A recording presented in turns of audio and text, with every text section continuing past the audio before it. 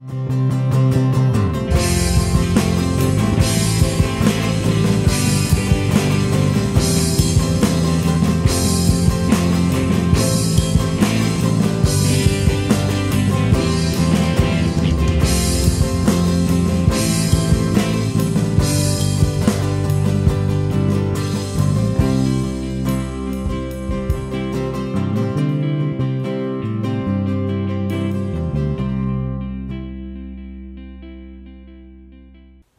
Well, good morning and uh, welcome to this our online service on the 24th of May. We're so pleased that you have tuned in and that you are going to be part of this gathering together, even though we're in different places, gathering to worship God together. I'm Manda Featherstone and I am the Vicar of St Mary's Church, Wythall. Uh, just to say that uh, today um, we were going to have one of our uh, readers and dear friends, Dave Darcy, leading our service, uh, but sadly Dave's dad's been really poorly this week. Uh, and so Dave's not able to lead us. Uh, and so we do pray for his dad Bill and for Dave and all the family. And our thoughts and prayers are with them. And so just to say bear with us as well, um, I've put on the same clerical shirt so that there is a sense of continuity, uh, but I was, uh, and I am, preaching this morning, and when it comes to that slot, you'll see me like uh, come in and introduce myself as if uh, this is the first time you're seeing me, uh, and that's because that's what we had planned, so uh, please bear with us with that this morning. On uh, the 21st of May this year, that's just Thursday of this week just gone, it was the point in the church calendar where we focus on the ascension of Jesus. That is, after Jesus has risen from the dead, he's got his disciples around him and he ascends into heaven. And so, because this is the uh, nearest Sunday to that, we're going to focus on this topic of ascension. And coming to the beginning of this service, I just want you to think about the fact that Jesus is the ascended Lord and he is now seated at the right hand of God and worthy of all our praise. And so I'd like to start with a verse from Revelation uh, Revelation 5:13. This is the last book of the Bible and it's a vision that John has and it's a vision of Jesus seated on the throne and uh, Jesus here is referred to as the lamb. Then I heard every creature in heaven and on earth and under the earth and on the sea and all that is in them saying to him who sits on the throne and to the lamb be praise and honour and glory and power forever and ever.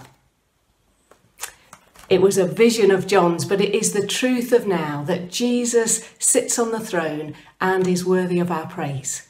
So let's just take a short moment to consider the exalted Lord Jesus.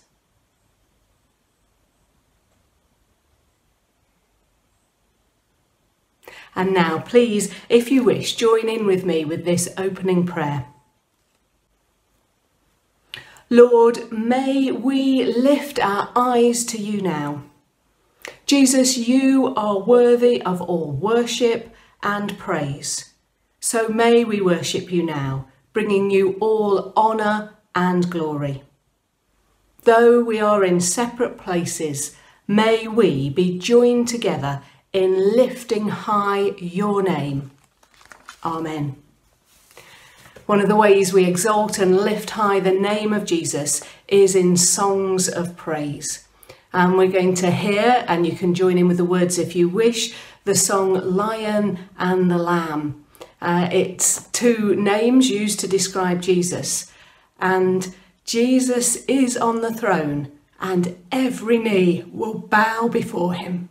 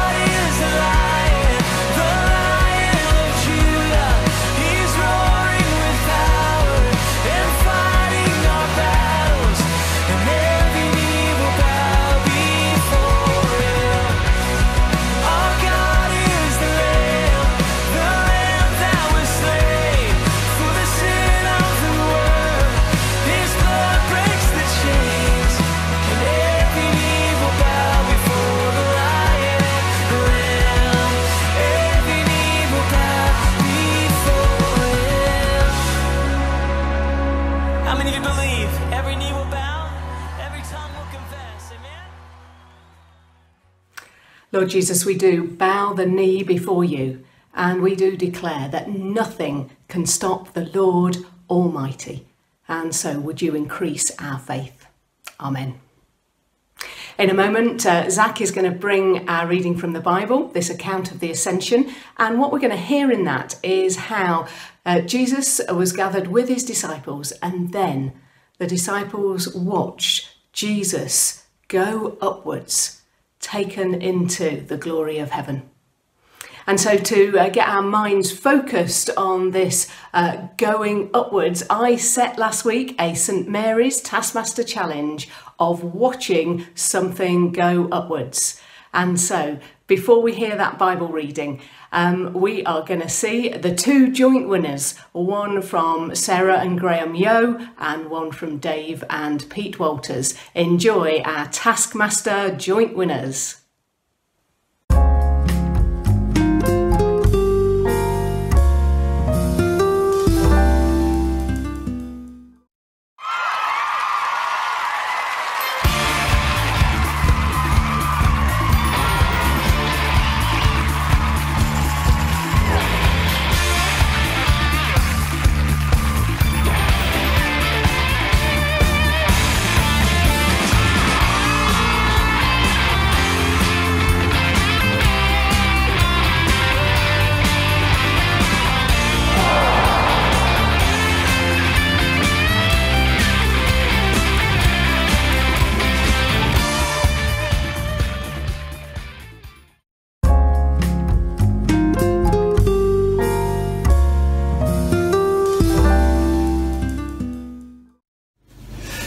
Right, what we need now is a really good fire.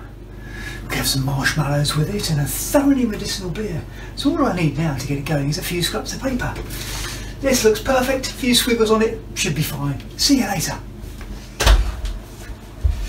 Well, it took some starting, but it's really going now.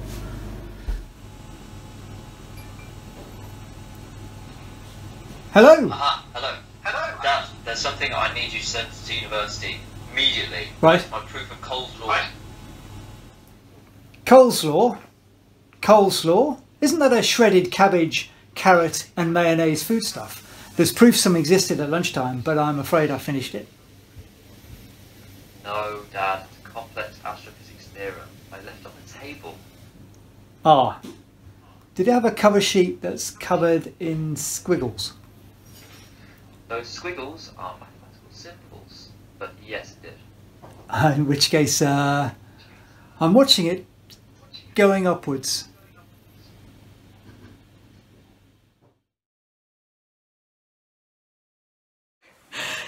Such great fun to see, and uh, thank you for all the entries this week. We had quite a few, and so they'll be put together in one video which you can click on to see after this service. Well, that was some fun, and uh, now let's turn to the really important watching Jesus go up into heaven. And uh, over to Zac to read that from the Bible, and then I'm going to bring us our talk for today. The reading today is taken from Luke chapter 24, verses 44 to the end of the chapter. He said to them, This is what I told you while I was still with you. Everything must be fulfilled that is written about me in the law of Moses, the prophets, and the Psalms. Then he opened their minds so they could understand the scriptures. He told them, This is what is written. The Messiah will suffer and rise from the dead on the third day, and repentance for the forgiveness of sins will be preached in his name to all nations, beginning at Jerusalem. You are witnesses of these things. I am going to send you what my Father has promised, but stay in the city until you have been clothed with power from on high. When he had led them out to the vicinity of Bethany, he lifted up his hand and blessed them. While he was blessing them, he left them and was taken up into heaven. Then they worshipped him and returned to Jerusalem with great joy. And they stayed continually at the temple, praising God. This is the word of the Lord. Thanks be to God. Well, good morning, everyone. Uh, I hope you're doing well, um, and it's a real privilege for me to uh, come now and speak on this passage. Thanks very much to Zac for reading it to us from the end of Luke's Gospel. And of course, uh, from every aspect of this service, what uh, we're aware of is that what we're focusing on today is the ascension. The ascension of Jesus into heaven with his disciples watching. He had died on the cross, rose again, he'd appeared to many people, and now he ascends into heaven. And uh, what Zac read to us uh, included uh, the response of those disciples that saw this. Verse 52 it says this Then they worshipped him and returned to Jerusalem with great joy, and they stayed continually in the temple praising God.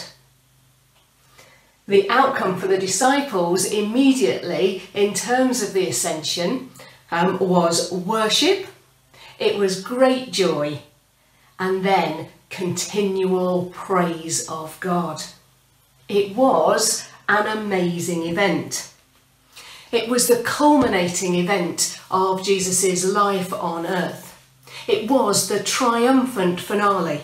It was a monumental moment. And yet, I don't know whether you'll agree with me, but it seems it can get a bit neglected. We talk about Jesus' birth, his death, his resurrection. But do we always include his ascension? Well, we know that we give a lot of attention to Jesus' arrival. I wonder what your memories of the celebrations of Christmas are, and boy, does that seem a long time ago. But we celebrate with great gusto the arrival of Jesus, but not so much his leaving. We give a lot of attention to his death and resurrection as we celebrate Easter. But here we are, 40 days on from that at the Ascension, and is that something that gets a bit neglected? Well, maybe it's because we get holidays for Christmas and Easter and not for Ascension. At a church I was part of previously, there was a guy there, with very deep faith in Jesus. He'd been a long distance lorry driver and he also enjoyed motorcycling. And he had a great phrase that has stuck with me. He had a really down to earth faith and he often asked, Well, where does the rubber hit the road? He was really asking, Well, what is the meaning of this and what difference does it make? And that's how I'd like to explore the ascension today. Jesus' arrival, his birth, makes a great difference. It shows that God came to be with us and that God initiated that rescue plan to restore our relationship, our friendship with Him. Jesus' death makes a huge difference. It shows that the perfect one dying on the cross has dealt with our sin so that we can be forgiven, hence including a confession in our service earlier. And Jesus' resurrection, his coming back to life, shows that death has been defeated, death has been overcome, and through belief in Jesus, we can live forever. So, what of the ascension? What does it mean, and what difference does it make? Where is the rubber hitting the road? Well, if you're joining us online today because you're still uh, exploring what the truth of Jesus is, then the ascension helps put that piece in place of who he is. If you're new to faith, then exploring the ascension helps put in some building blocks of understanding. And if you've been a follower of Jesus for a long time, maybe looking at the ascension is a challenge to see what does it mean and how does it fit in with day-to-day faith.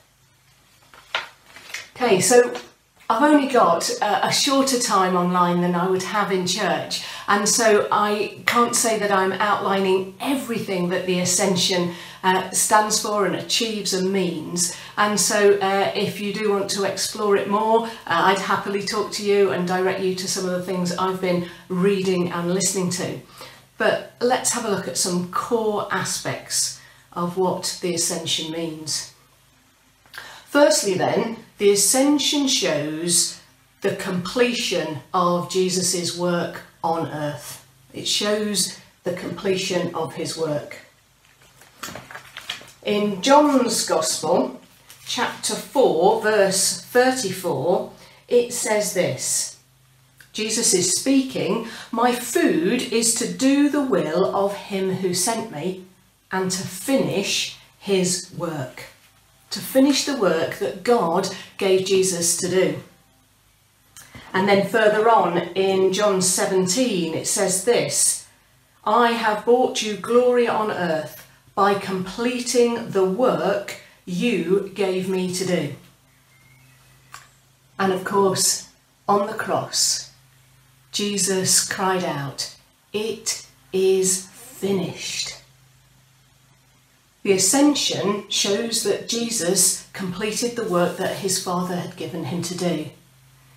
We understand from uh, the time spaces that uh, Jesus died at the age of 33. It very much looks like a, a, a life cut short, a death come too early. But actually, what the Bible shows and what the ascension brings is confirmation that Jesus completed the work that God gave him to do. I'm actually recording this uh, with a tripod uh, on our dining table and the tripod stands on a jigsaw. When I came down this morning, there was still probably about another 45 pieces to do, all the grass. It's now finished. I can't show you it under the tripod, but it is completed. A member of our household has worked hard this morning and completed that jigsaw. And we can see a bigger picture. It is encouraging, assuring that Jesus completed the work his Father gave him to do. We know, therefore, that we can trust everything he is and that he said. And in John 17, reading on from the verse I read, it says, And now, Father, glorify me in your presence with the glory I had with you before the world began. And so Jesus returns to heaven and returns to the glory that he had before. No longer limited by a human body, fully restored in the glory he has. So, it's a completion of Jesus' work on earth. Secondly, what the ascension shows us is that the next phase can come, and that is the sending of the Holy Spirit. We've talked in our series of encounters with Jesus about how uh, the disciples would have been in turmoil about his death and then shocked by his resurrection. But before uh, his death, he started talking to them about the fact that it is better for you that I should go. Well, they couldn't understand that. How could it be better for them that he would go? Jesus said, If I go, then we will be able to send the counselor, the comforter, the Holy Spirit. Jesus said, I have been with you, but the Holy Spirit will be in you. He said it's going to be better for you that I have gone. That's because the disciples had had Jesus with them, but now they would have the Spirit of Jesus in them and we're going to look at the gift and the, the pouring out of the Holy Spirit next week at Pentecost. The ascension shows that this next chapter can come the sending of the Holy Spirit, that we might have power. And for us, living in the 21st century, well, of course, Jesus was in one place at one time. But now, the Spirit of Jesus is with each and every one of us, wherever we are because he ascended into heaven and the Father has sent the Holy Spirit to us. That's great news that Jesus is with you and with me wherever we are. And that's one of the things that the ascension, followed by Pentecost and the pouring out of the Holy Spirit, has brought about. Thirdly, then, the thing that the ascension does is it marks the passing of the responsibility of making Jesus known onto his followers. While Jesus was on earth, of course, he made himself known. He went about healing and teaching and performing more miracles. And he did have a couple of test runs of getting his followers uh, to make him known. And he sent out the disciples and he sent out uh, a group of wider disciples, sending out them in pairs of the 70 or the 72. But once Jesus returns to heaven, the responsibility of making him known is passed on to his followers. Uh, Zac read us the uh, account of the ascension from the end of Luke's Gospel, uh, but Luke actually writes a second book. He writes the Acts of the Apostles, and what Luke does is uh, he uses what he ended with in Luke to start his other book, Acts, and he gives an account uh, of uh, the ascension of Jesus going up into heaven and. It, he records Jesus saying this to his disciples. And you will be my witnesses in Jerusalem, in all Judea and Samaria, and to the ends of the earth. This responsibility is passed on to us. And that word responsibility, we can think, oh, um, but it's an exciting thing. And actually, it gives us purpose. And reading that verse, that Jesus is going to be known and he is being made known to the ends of the earth, the fact that empowered by the Holy Spirit, we can be part of that is such an adventure. Okay, fourthly and finally, then, what does the ascension bring about? Well, Jesus is now seated at the right hand of God. Jesus is seated in heaven. And so that means and uh, brings about for us as followers various things. Uh, firstly, it brings about our worship. There's a, a, great passage in Philippians, which actually is a, an old hymn, and it says, At the name of Jesus, every knee will bow and everyone will proclaim that he is Lord. He's seated at the right hand of God, and every knee in the end will bow before him. But we have the opportunity to praise him now and declare that he is the King of Kings and the Lord of Lords. Another aspect uh, to uh, take in in the fact that Jesus is seated in heaven is that he is there now preparing a place for us. There's a passage that I'm often asked to use at funerals. It's John 14, and it says, In my Father's house are many rooms, says Jesus, and I am going there to prepare a place for you. Jesus is in the heavenly realms, and because he's conquered death, he is there preparing a place for those who believe in him. Also, the fact that he's seated in heaven means that he has started his high priestly ministry. In the book of Hebrews, it talks about the fact that we have a great high priest. Therefore, since we have a great high priest who has gone through the heavens, Jesus, the Son of God, let us hold firmly to the faith we profess.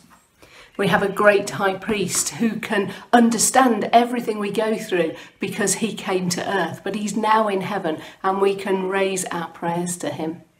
Our worship, our prayers, and knowing he has prepared a place for us. Well, I've outlined four things there and uh, maybe you'd like to listen to this again, I dare to say, and actually look at each of those passages that I've referred to in more detail. I'm aware today that uh, I haven't bought uh, a, a, story or something I'm thinking about. I've not related it to coronavirus because today I wanted us to focus on the Bible and to have some clear teaching and understanding of what the ascension means. And I do hope that that is a blessing to you as you ponder it again. And do go to Acts chapter 1, the first 11 verses, to read Luke's second account of it. So, at this point in our service, we're going to come to what's called a creed, and uh, a creed is just saying what we believe. But actually, today we're going to do that through song, and it's a new song that Ria's going to teach us, and it has signs with it. It's called I Believe, so just listen or join in with the words or join in with the signs. And then after that, Jan and Ria are going to lead us in our prayers. Let us declare our faith together.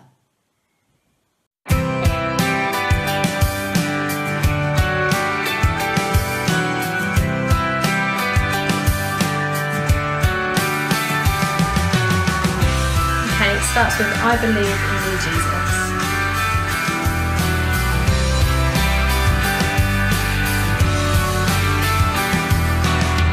I believe in you, Jesus. I believe you came from heaven to earth. I believe you showed us who God is and how to live. I believe in you, Jesus. I believe you died and rose again. I believe you've opened up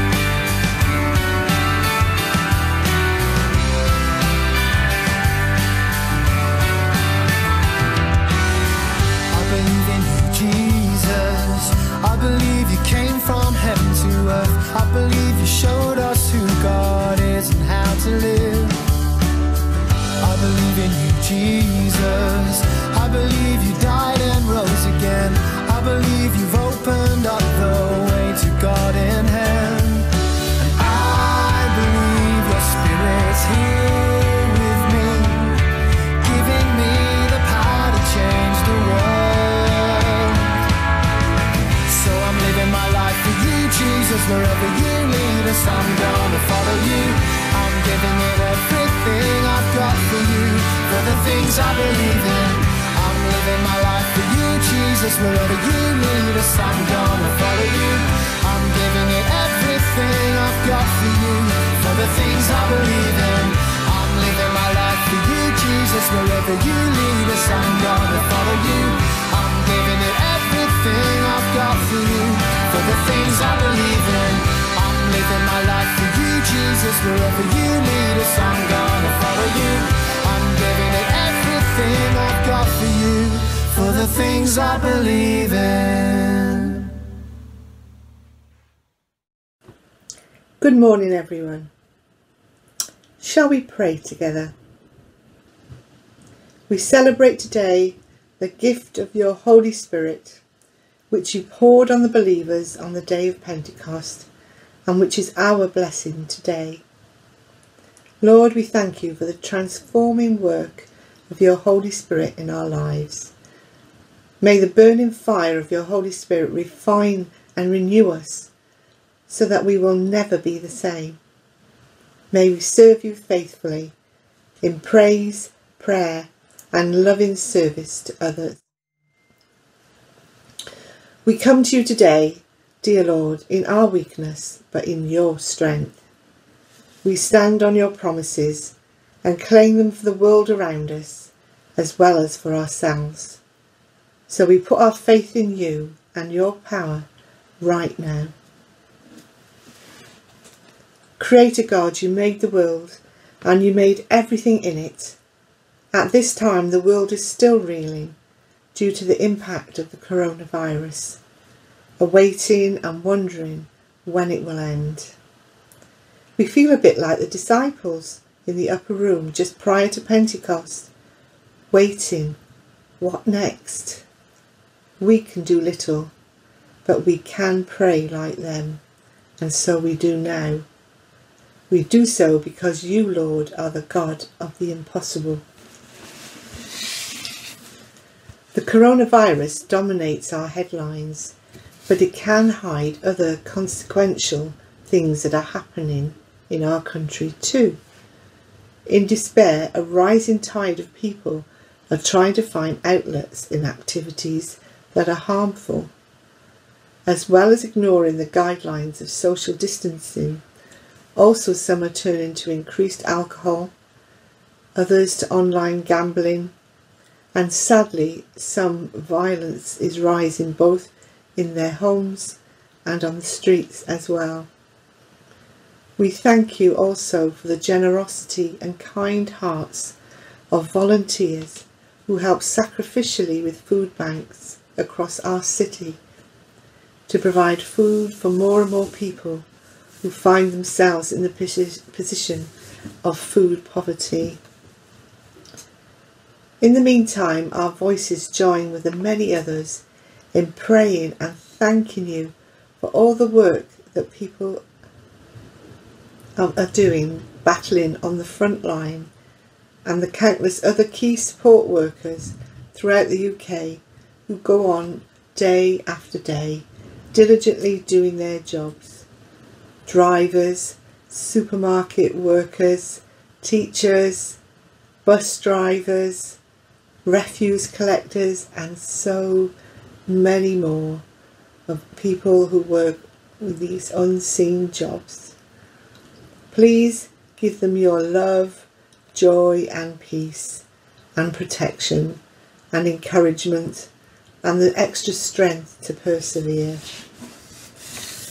Unshakable God, you are our ever present help in times of trouble.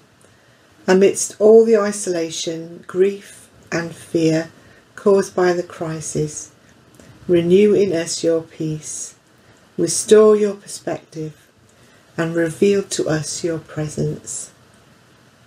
Merciful God, we bring to your loving, tender care those who are suffering with COVID 19, those who are ill or in pain, knowing that your everlasting arms are there to hold us safe, whatever part of life's journey we are on. We pray that you will comfort the thousands of families who have had their loved ones taken away from them too soon. Pour your peace and comfort on their lives. We pray, pray for the people of Uganda battling with severe flooding, locusts, and not to say the least, COVID 19. Also, also, along with the virus, both India and Pacific Islands have suffered awful cyclones. This has forced the consequent refugees to be crammed into shelters where it's impossible to social distance. Heavenly Father, we pray for those in these countries where COVID 19 is just another affliction on top of many other trials, especially those such as Afghanistan and other countries who are riddled with poverty, hunger, corruption, and violence. It's difficult for us to pray knowledgeably in our circumstances, but you, Lord, are right there now. And you, Father, are the one for whom nothing is impossible. Stretch out your hand over these situations and please bring an end to their suffering. On a more local level, here in Hollywood and Wythall, we pray, Jesus, that you will breathe on us with the breath of life as a church. We pray that your Holy Spirit's fire will ignite something wonderful here that will spread far and wide. Enabled and led by you, Lord, may we be a beacon of hope, love, and light, shining in and throughout our community. We pray now, Lord Jesus, our friend, for those close to us, for those who are unwell. Please be their healer and giver of wholeness. For those who are grieving, please wrap your arms around them and be their loving comforter. For those who are anxious, please, pre- please be their Prince of Peace, filling them with calmness. For those who are lonely, please, Jesus, be their close friend. Heavenly Father, accept these prayers for the sake of your Son, our Saviour, Jesus Christ. Amen. Join with me as we say the Lord's Prayer together, and you can join in with the signs if you would like. Our Father in heaven, holy is your name. Your kingdom come, your will be done, on earth as it is in heaven. Give us today our daily bread, and forgive us our sins, as we forgive those who sin against us. Lead us not into temptation, but deliver us from evil. For the kingdom, the power, and the glory are yours, now and forever. Amen. Amen. And so our notices for this week. So we have looked today at Ascension and we're looking forward to Pentecost. That period between uh, the 21st and 31st of May is termed Thy Kingdom Come. And there is a call across this nation and globally to prayer. And St Mary's Church are joining in with that with a 24 hour period of prayer. And so I just want to say, you guys are great and thank you so much for signing up so that we're able to cover uh, that 24 hours of prayer. And uh, I just pray that we'll all be blessed through that. And if you do uh, have any comments or uh, things that have struck you, ways you think God's uh, been speaking, then please do get in touch with me. And so we're praying uh, from 10 a.m. on Wednesday to 10 a.m. on Thursday. And uh, to bring that time of prayer together, we're going to have a uh, Zoom prayer meeting. So do contact Kathy if you'd like the details so that you can join in with that. And also contact Kathy if you'd still like to sign up to be praying in an hour's slot during our 24 hours of prayer. Secondly, then, uh, an announcement of the next St Mary's Taskmaster Challenge. And uh, to be with us by noon on Wednesday, the challenge of a video of less than one minute. Could you record an account of that first Pentecost? Record an account of Pentecost. Now you'll be able to read about it in the Bible in Acts chapter 2. And I just need to say there's a part about uh, uh, flames of fire landing on each person's head. Please, health warning, don't play with fire. Please be careful, but I'd really love to receive your videos by Wednesday at noon. It's always great in our services to be able to see what the children and young people are doing and even though we're online we're continuing to do that. And to just show you having had that great song earlier I believe with the signs uh, there's another song being worked on called Send Us Out. And within that song there's going to be bits of our children and young people uh, dancing and signing and being involved. And so we're going to use that on Trinity Sunday on the 7th 7th of June, and we really look forward to that. A final prayer and blessing. May God the Father, who made you, watch over you. May Jesus, who died for you, be near to you. May the Spirit, who gives life, live in your heart. And may the blessing of God Almighty, the Father, the Son, and the Holy Spirit be with you and remain with you always. Amen. Waiting expectantly for the promised Holy Spirit, go in the peace of Christ. Alleluia, alleluia. Thanks be to God. Alleluia, alleluia. So glad you've tuned into this uh, service today and uh, I hope it's been a blessing to you. Do get in touch with me at any point and uh, do click the link that come up after this service to watch all those Taskmaster videos. But it's an exciting week ahead as we engage as a church in these 24 hours of prayer and as we look ahead to next Sunday and our celebration of Pentecost. Have a day, great week and take care.